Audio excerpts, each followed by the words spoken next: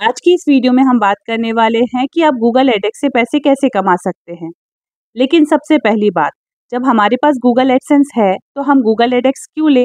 देखिए Google AdSense एक बहुत अच्छा एड नेटवर्क है। आप गूगल एडसेंस से भी बहुत सारा पैसा कमा सकते हैं। लेकिन अगर आपके पास एस e का बहुत अच्छा नॉलेज है तो अगर आप अपने ब्लॉग में ऑर्गेनिक तरीके से काम करते हैं तो आपके लिए गूगल एडसेंस बेस्ट नेटवर्क है। लेकिन अगर आप अपने ब्लॉग का सोशल प्रमोशन करते हैं मतलब कि आपके पास आपकी खुद की ऑडियंस है, आप अपनी ऑडियंस के साथ अपने ब्लॉग को शेयर करते हैं तो आपके लिए गूगल एडेक्स ज़्यादा बेस्ट रहेगा। क्योंकि अगर आपके ब्लॉग में ज़्यादा सोशल ट्रैफ़िक रहेगा, ज़्यादा डायरेक्ट ट्रैफ़िक रहेगा, इसके कारण से आपको एडसेंस में एड लिमिट का इशू आ जाएगा। कई बार तो आपका एडसेंस अकाउंट क्लोज भी हो सकता है। बस इसी इशू की वजह से बहुत सारे ब्लॉगर गूगल एडेक्स का यूज़ करते हैं। गूगल एडेक्स भी बहुत ट्रस्टेड प्लेटफॉर्म है। ये गूगल के ही सर्टिफाइड पार्टनर्स होते हैं।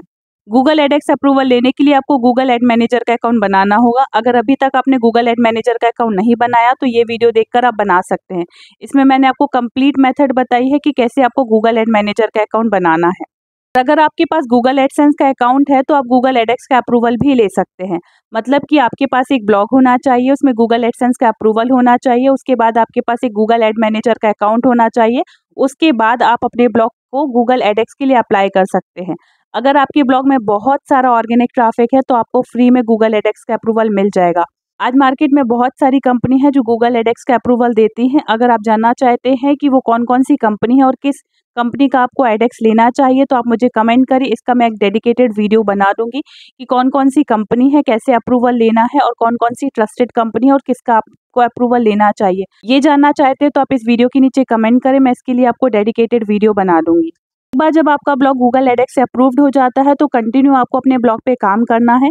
कोशिश करिए कि आप कंटिन्यू काम करें तो आपके पास ऑर्गेनिक ट्रैफ़िक भी हो, आप डिस्कवर पे भी काम करें तो आपके पास फ्री ट्रैफ़िक भी होगा। इसके बाद अगर आपके पास सोशल ट्रैफ़िक है, आप अपने ब्लॉग का सोशल प्रमोशन करते हैं तो भी एडिक्स में कोई प्रॉब्लम नहीं है, लेकिन अगर आप रिलेवेंसी के साथ काम करते हैं मतलब जिस निश पे आपने ब्लॉग बनाया है, उस निश के अकॉर्डिंग अगर आप अपने ब्लॉग को सोशली प्रमोट कर रहे हैं ऑर्गेनिक काम कर रहे हैं कंसिस्टेंट वर्क कर रहे हैं तो कोई प्रॉब्लम नहीं होगा कि आपके पास सोशल ट्रैफ़िक है डायरेक्ट ट्रैफ़िक है आपके पास आपकी ऑडियंस जहाँ पे भी है, आप उससे गूगल एडेक्स से अर्न कर सकते हैं। जितना भी पैसा आपके गूगल एडेक्स अकाउंट में बनेगा, वह मंथ एंड में गूगल एडसेंस अकाउंट में ऐड हो जाएगा। जैसे कि हमने आपको बताया कि गूगल एडेक्स हमने आपको बताया गूगल एडेक्स की जितनी भी कंपनी है, वो गूगल के ही सर्टिफाइड पार्टनर है।